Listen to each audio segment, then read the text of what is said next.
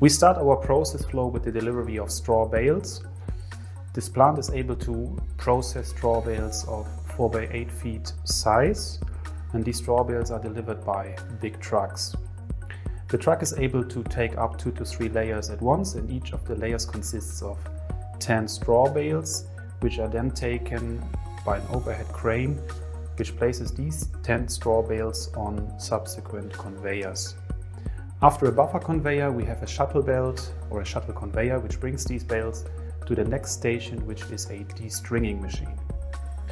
The destringing machine takes off the strings and loosens up the bales so that we have straw which is easier to process in the subsequent stations.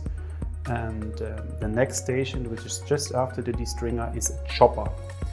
The chopper is similar to what most of the people might know as a as a drum chipper from the normal MDF process. However, this is a drum chipper with an open rotor to pre-chop the straw and to reduce the size for subsequent processing. After the choppers we have a total of four hammer mills to further reduce the size of our straw.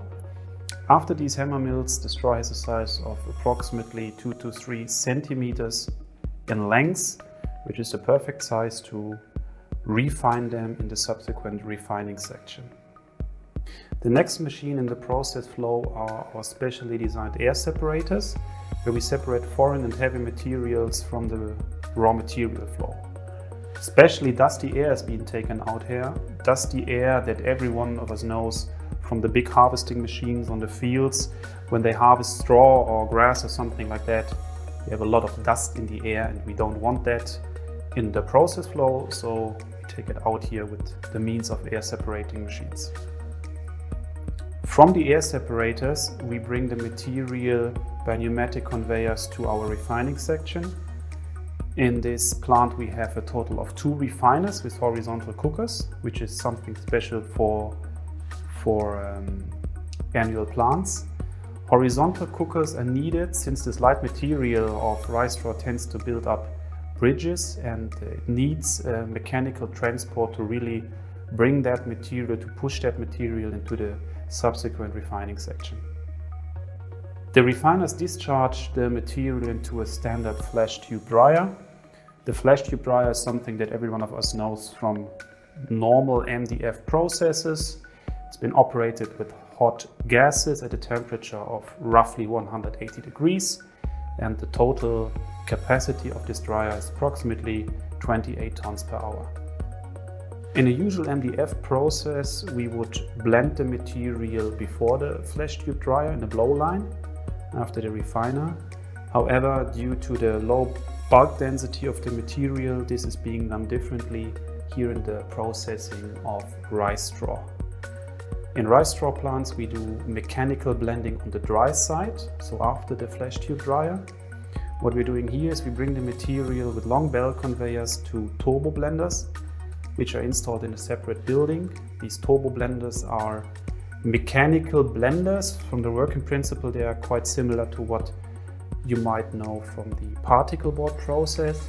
However, these blenders, which we see here, are operating at a very high rotation speed. And um, this is a special development for rice straw plants and a machine that we patented uh, from Siempelkamp.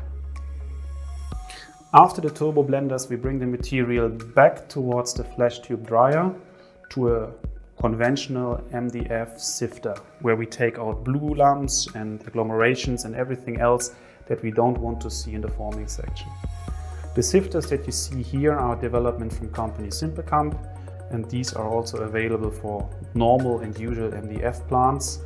This is the Siempelkamp Eco Sifter. Out of the sifters we have a pneumatic transport to our forming station. From here we are pretty much in a normal MDF process. We have a mechanical forming machine with a mechanical forming head. Um, subsequent to the forming machine we have an equalizer to equalize the mat which we just spread and from there we bring the mat through a pre-press and a compactor into the main press which is our Siempelkamp Conti roll press. Subsequent to the forming line, we enter into the main machine of the MDF process, which is a Siempelkamp ContiRoll Generation 9 with main dimensions 10 feet in width and 40 meters of length. This press is equipped with all the special features that Siempelkamp has to offer. There's pressure distribution plates for an almost isobaric pressure over the complete length and width of the press. It has our energy saving Eco Drive concept and all further features and details that our customers know from our normal MDF plants, which we successfully start up around the world. Subsequent to the ContiRoll, we enter into the cooling and stacking line, where the endless board is being cut into long master boards. After these master boards have been stored for a few days in our intermediate storage, we enter into the last step of the process.